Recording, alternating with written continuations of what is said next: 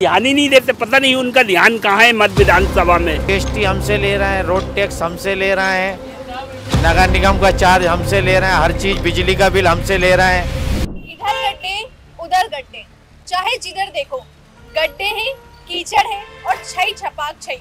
अब आप सोच रहे होंगे कि बीच सड़क पर मैं यहाँ आपको कविता क्यों सुनाने लगी? ये कविता नहीं है बल्कि ये राजधानी भोपाल की हकीकत है। नमस्कार, देख रहे हैं दस सूत्र। मैं अमीशा कछावा। अभी मैं मौजूद हूँ भोपाल की प्राइम सड़क पर। आप देख सकते हैं, यहाँ पर कई वाहन गुजर रहे हैं। ये ऐसी प्राइम सड़क है जहाँ पर अनगिनत वाहन रोज गुजरते हैं और इन अनगिनत वाहनों में बत्तीस माननीय के भी वाहन गुजरते हैं। ये वही बत्तीस माननीय हैं जिनके सर पर आपकी मेरी समस्या सुनने का और सुलझाने की उनके ऊपर ज़िम्मेदारी है। ये वही बत्तीस माननीय लोग हैं जिन लग्जरी गाड़ी में वो घूमते हैं, वो आपकी और हमारी मेहनत की कमाई है। जी हाँ आप सही समझ रहे हैं। मैं बात कर रही हूँ मध्य प्रदेश के उन बत्तीस मंत्री की। उन बत्तीस मंत्री में मध्य प्रदेश के मुख्यमंत्री मोहन जी भी शामिल है। आइए, हम आपको यहाँ की जनता से बात करते हैं और इस, जो सड़क के गड्ढे दिख रहे हैं, उनसे उन्हें कितनी परेशानी हो रही है, इस पर उनसे चर्चा करते हैं। जी, क्या नाम है आपका?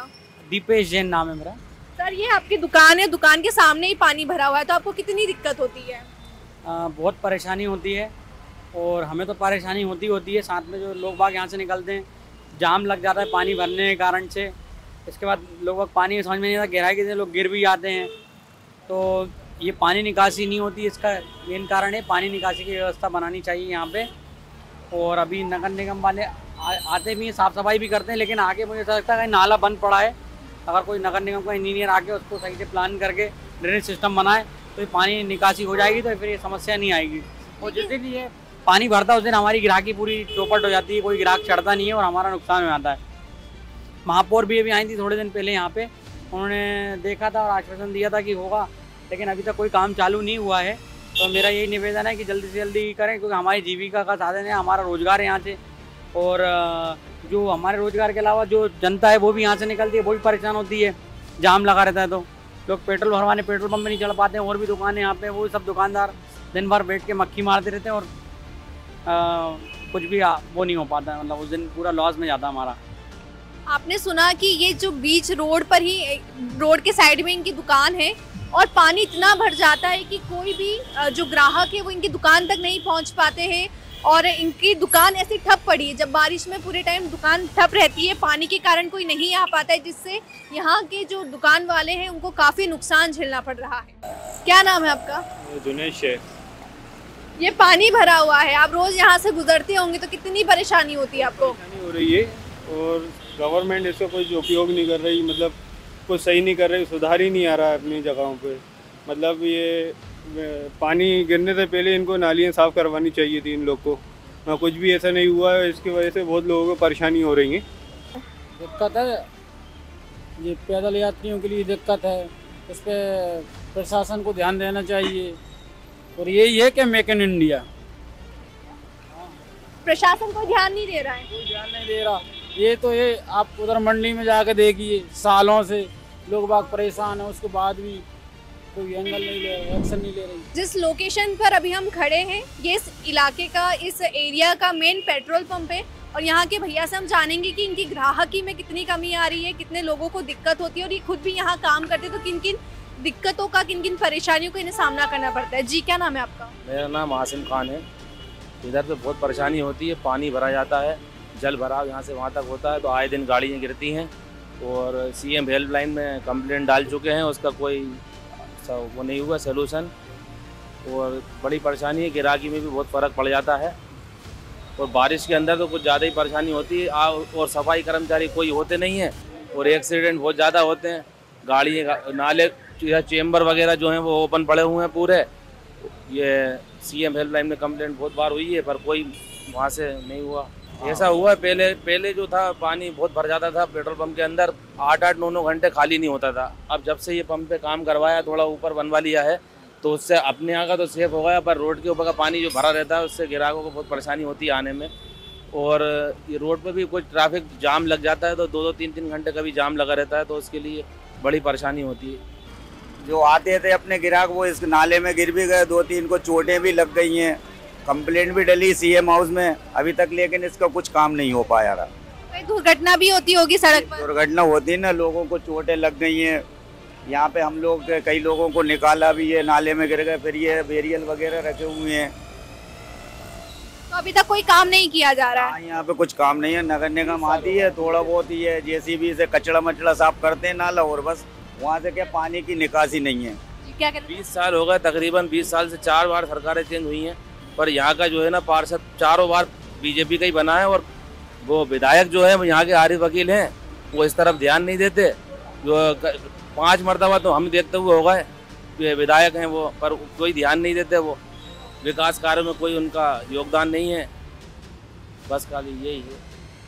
जिस तरीके से ये बता रहे हैं कि यहाँ पर 20 सालों से यही हालात है। सरकार कोई कदम नहीं उठा रही है, प्रशासन कोई काम नहीं कर रहा है, शिकायतें की जाती है, लेकिन उसका कोई हल नहीं निकलता है। इधर इस तरफ़ ध्यान नहीं है और आप देख सकते हैं कि कितना यहाँ पर पानी भरा हुआ है, कितनी दिक्कतें आ रही है और कहीं ना कहीं ये मध्य प्रदेश में विकास के नाम पर जो धांधली हो रही है विकास के नाम पर जो कार्य किया जा रहा है, उसकी खुली आम पोल खोल रहा है कि किस तरीके से मध्य प्रदेश में सरकार काम कर रही है।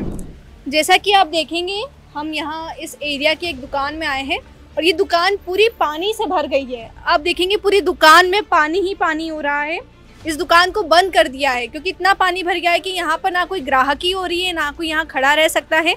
तो हम यहाँ के दुकान के जो मालिक हैं, उनसे बात करेंगे और जानेंगे इनको क्या परेशानी हो रही है। पानी भर जाता है तो कितनी परेशानी होती है आपको? व्यापार बंद हो जाता पूरा। व्यापार कर ही नहीं पाते हैं। पानी साफ़ करना पड़ता मोटर लगाना पड़ती है। आज पंद्रह साल हो गए कोई सुनने को तैयार नहीं है महापौर आती हैं अपनी फ़ोटो खिंचवाती चली जाती हैं। तो आपने कभी बताया कि हमें इतनी दिक्कतें हो रही है? सब सब यहाँ सब निकल चुके हैं यहाँ से मुख्यमंत्री निकल चुके सांसद यहाँ के निकल चुके विधायक निकलते हैं दिन में चार बार। अभी पंद्रह दिन पहले महापौर साहब आई थी कुछ नहीं हुआ। यहाँ पे इतना पानी भर जाता है तो मेन दिक्कत कहाँ आ रही है? यहाँ का ड्रेनेज सिस्टम खराब है कि कहाँ दिक्कत आ रही नाला खराब है। पूरा निकासी नहीं है कहीं से पानी की। पूरा आकर इधर ही जम जाता। कोई कहेगा ये राजधानी है? पाँच दिन से पानी भरा हुआ है दुकान का बिल कहाँ से इतना आ गया?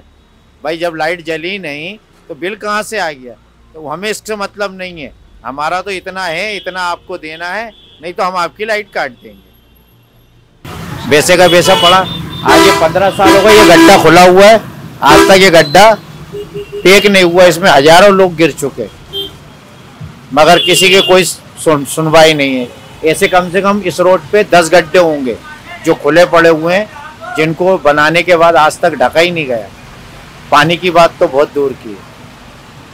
आप देख सकते हैं कि वो गड्ढा इतना बड़ा है और इन अंकल ने हमें बताया कि वहाँ पर खुद जज की गाड़ी उस गड्ढे के अंदर तक गिर गई थी, लेकिन यहाँ पर ना महापौर ध्यान दे रहे हैं और ना ही कोई यहाँ पर ध्यान दे रहा है। आप देख सकते हैं कि पूरी दुकान पानी से भर गई है।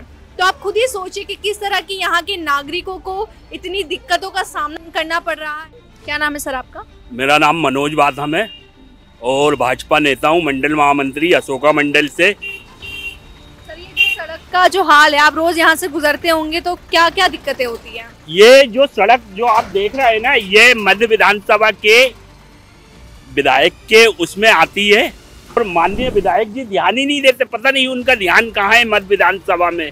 उनको इस जगह पर ध्यान देना चाहिए, जे डेली लोगों के आने जाने के लिए है, और इससे कम से कम डेली चालीस से पचास हज़ार लोग वाई टू व्हीलर से निकलते हैं और मेरे सामने कई लोग गिर भी चुके हैं। खुद मैं भी इस सड़क पे एक या दो बार गिर चुका हूँ। तो आपने शिकायत की है रोड को लेकर? इसकी शिकायत जो है सीएम हेल्प लाइन पे डली हुई है मेरी पहले से जिसका अभी तक निराकरण नहीं आया है। अच्छा मतलब शिकायत करने के बाद भी इसका कोई हल नहीं निकल पा रहा है। तो यहाँ पे कौन देखता है? क्योंकि इतना ज़्यादा गड्ढा ये हर साल यही हाल होता है सड़कों का। ए, मेरे जीवन में करीबन मैं दस या बारह साल से इस रोड से सिलाइटर हाउस वाले रोड से आना जाना करता हूँ। तो मैं हर साल देखता हूँ यहाँ हर साल गड्ढा हो जाता है और गंदगी रहती है।